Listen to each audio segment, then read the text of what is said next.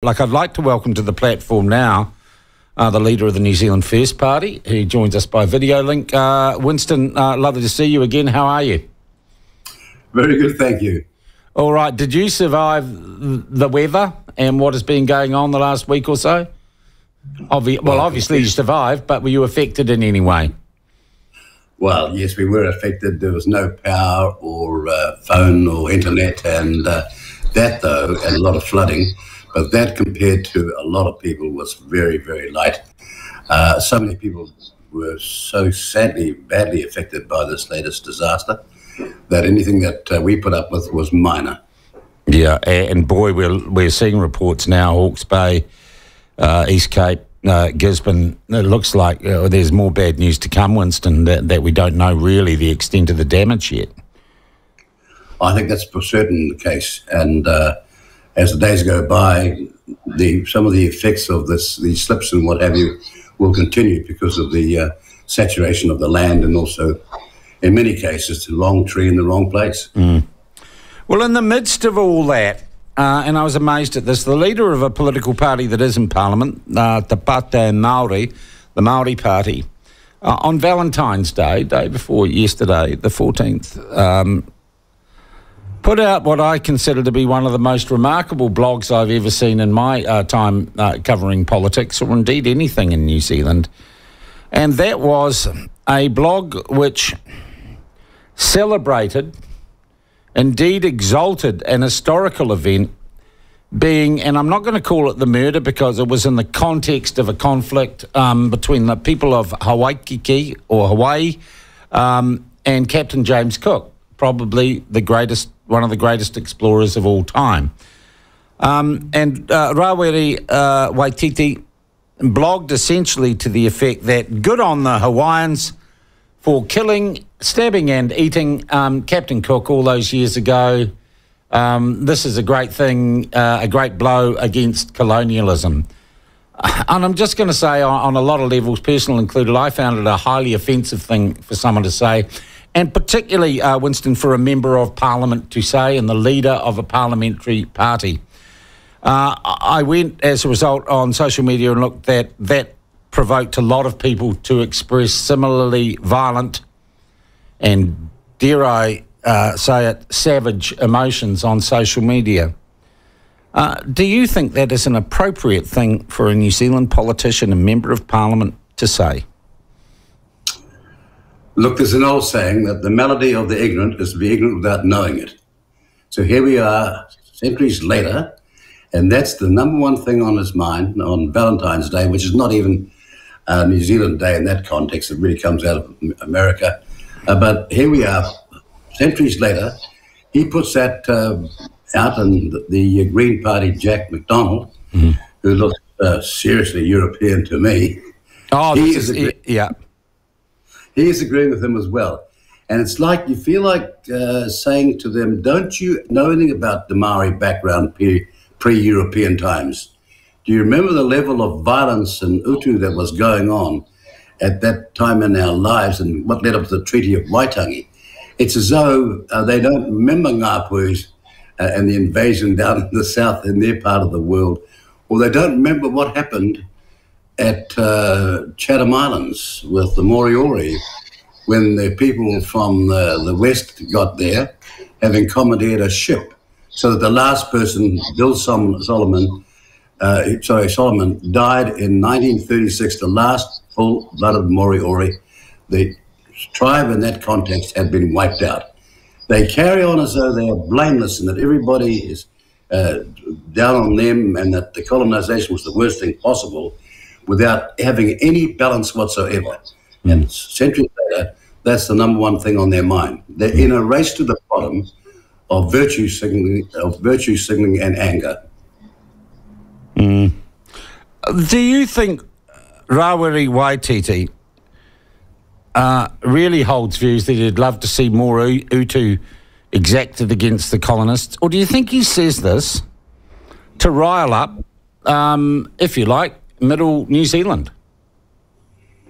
No, I think he is in a race with some of the Maori members of the Labour Party in a venture to capture the so called Maori boat, not understanding that the mass majority of Maori are getting on with their lives and want to be part of a model civilized society where education and skills and jobs and opportunity and a decent life is provided by a decent wage system.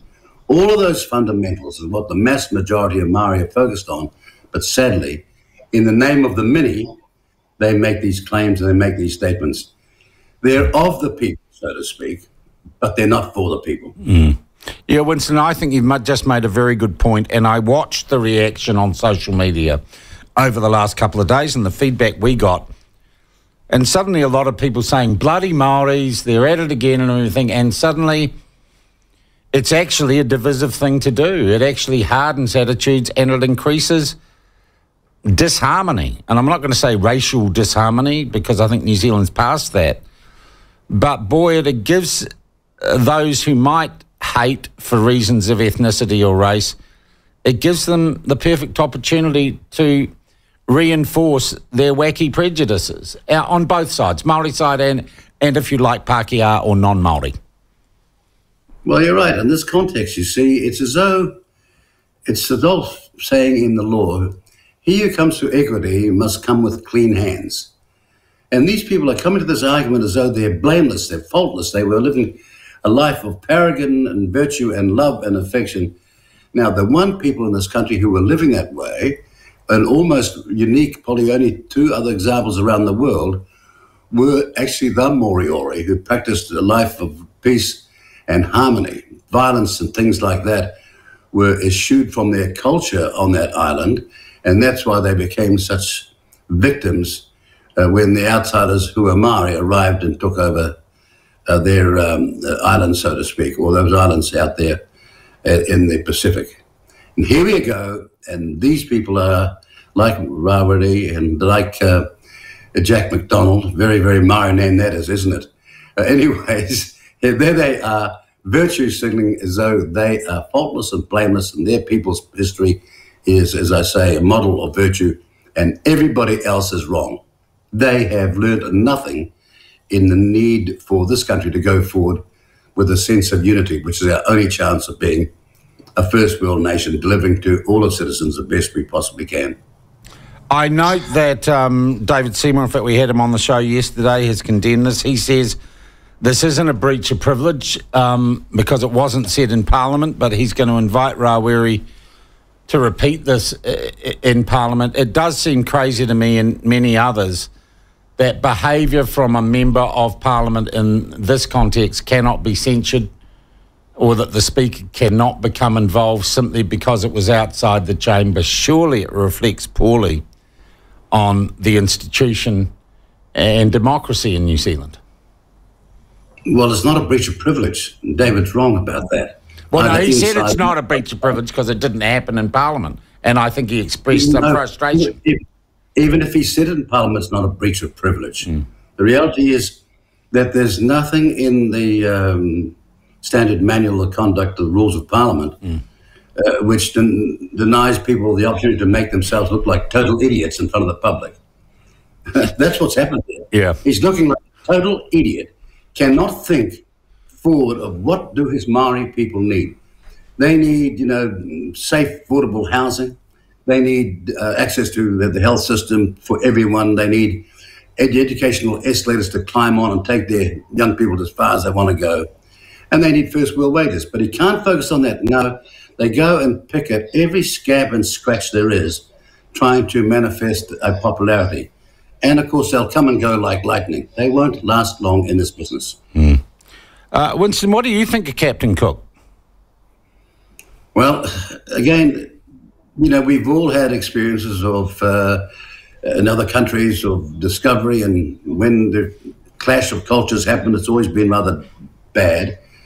But here's the real point: uh, he was one of the world's greatest explorers. I was talking to someone who was related to a maritime uh, researcher and cartographer, so to, to speak, when it comes to this country.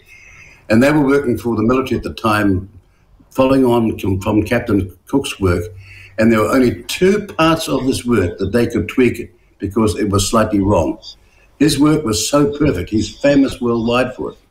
But of course, uh, with the clash of culture, which happened between Ireland, between England, between the Scottish, it's happened everywhere.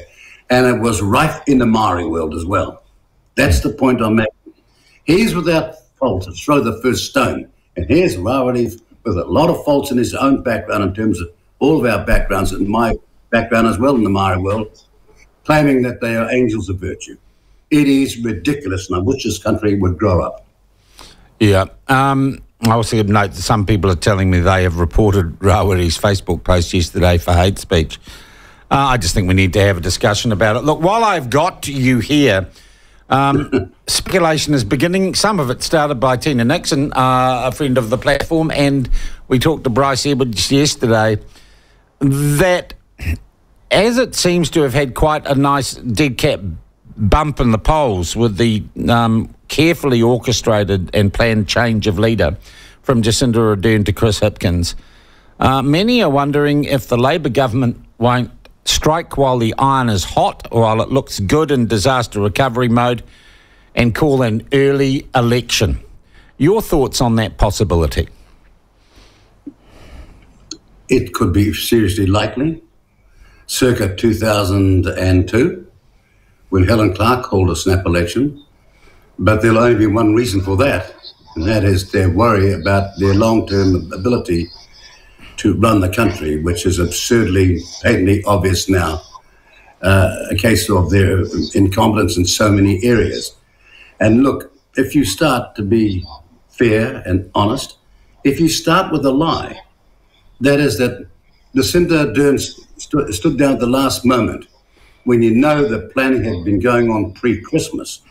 If you start with a lie, get the mainstream media to conform and go along with it, and think you can get away with that. I just hope the New Zealand people are much more aware of what the reality is than the public spin hype and uh, claims made by Mr. Hipkins about stepping up at the last moment. No, this was a long way out mm. in the inner circle. And in that inner circle, I honestly think they hadn't even told a lot of their Labour caucus members, but it was planned a long way out and well before Christmas. Yeah. Winston. I told my team, forget about posting over Christmas and what have you. There's something big coming. Until the dust settles, we'll be wasting our time. Yeah, uh, uh and I, I think that, that that's good strategy, uh, Winston. Um, we have had the dumpster fire of a number of unpopular policies, though. Everyone I talk to says, have they really stopped doing this or that, or have they just parked it somewhere or sent it somewhere else so they could revive it? When they get the chance. And I'm talking about things like the hate speech laws, uh, the TVNZ RNZ merger. Many people not sure if those policies are dead. But the one policy that has not been substantively dealt with or faced is um, Three Waters. And of course, associated with, with that, the idea, the philosophy of co governance, which we have talked about before. Do you think Labour are stuck not being able to confront their Māori caucus on that issue? Despite the fact that it is one of the highest issues in terms of voters, in terms of things they're concerned about? Yes. They have not dropped it, they've parked it aside. Uh, just come back. There's one thing of those examples I don't agree with. We needed to get hate speech right, but in a way where it was genuinely about hate speech and not cancelling out other views alternative to your own. Mm. That's the sad and important thing about democracy. So I think that that does need work on because you cannot have people firing up potential terrorists uh, who are in many cases young, uneducated, unbalanced, and when the disaster is over, wiping your hands off and saying, oh, it's all about liberty and freedom. But we need to spend far more work on that. I think setting off the law commission is a good idea. Let's tidy it up. But as for the rest of them, they're all different. We didn't need three waters legislation. We didn't need co but, but, three waters isn't over. That's the one thing they haven't kiboshed. No, no, they, they haven't kiboshed any of those other things. They've parked them up. They've said about co-governance. Hipkins is saying about co-governance, oh, we have to do more work on it because people don't understand. Yes, they do. They understand where a small part of the population, probably only 6 or 7%, is in our control of 91, 92% in terms of co-governance. Hmm. And he's parked it up on that way. He's not disowned it. He's not said that's the end of it. This is not a political change, dramatic change. It's more of the same with a different face mm. from someone who was always in the inner sanctum and went along with it at the time. Mr. Hipkins, if it wasn't bread and butter for the last five years, why were you wasting everybody's time? But you can read a poll. He's done all right. It wasn't a bad strategy. And National, to be honest, by comparison, looked flat footed and confused. well, uh, uh, that may be a fact. But uh, I'm not talking about National. Yeah. I'm not talking about ACT. I'm talking about the party that I lead and what we're going to do about it. Uh, and we're going to we're going to stick where we always were yeah. on this principle. I've been saying this for 40 years. So you are saying you are not ruling out the possibility of an early election in the current circumstances? Well, actually, I said last year that there's a very great likelihood of that happening. All right. Because I could not see them making it to the next election without them being horribly exposed and being split apart in their inability to deliver on what they'd told their caucus. Yeah. Uh, and, and, what do you think Rawiri should do to put his ridiculous, provocative, brain dead comments right? Should he withdraw and apologise? Is that enough? Oh, I wouldn't waste any time considering it. I mean, I, I rather regret being on this show. Not that it's an important matter, but all we're doing is giving this guy publicity. Yeah, and point. that's what he loves. He loves the shock and horror factor. This is a guy who's eschewing everything colonial, but because he's got no hair, he has to wear an American cowboy hat. You see the contrast here? Nothing's consistent about these people. Yeah. Uh, Winston, I thank you for your time. I'm glad you survived the flood. I need to thank you for getting me the invite to the party. It was lovely to see you up there. Um, and okay, I'm going to. I had to get the shovel out and shovel a whole lot of drains and what have you to oh. make sure the water was up. But otherwise, having got back inside soaking wet, I knew we were okay. Good on you. Winston, thank you very much indeed for your time. We'll talk again soon. That is Winston Peters, the leader of the New Zealand First Party, and yep, joins the chorus of condemnation of Rawiri. I think makes a good point. Maybe the guy just says such outrageous things for attention. But interesting, um, you know, what we're running up the flagpole early election. He says, yep, uh, I think you put Winston in the uh, he thinks it's going to happen column. Very, very interesting. I'm very interested too in your thoughts and observations on that issue. Um, Sean, the more Winston speaks, the more I find myself leaning to his party. Call it as it is. If only Winston and David would put differences aside and team up for the greater the good of the country. Or um, especially where the two major parties are simply not ideal, in my opinion. Understandable, one is required, however, no confidence in either. That is from uh, Chris. Uh, cheers, Chris. Um, Sean Waititi's brain is connected to his bum. I won't comment on his face, for I can't. Uh, Sean, uh, oh, Steve, I could have asked him that, but I wouldn't. Um, Sean, I reported Rawiri's Facebook post yesterday for hate speech, and not a word back from Facebook. Post is still up too. Uh, we tried to get hold of Meng Foon. He, he hasn't returned our calls, but that may well be uh, that he hails from, from the Gisborne region and he may well be dealing uh, with more serious or, or more urgent matters at, at, present. So I'm not going to say he's refused to front. I think Meng is probably uh, tied up in relief and trying to help his community uh, right now.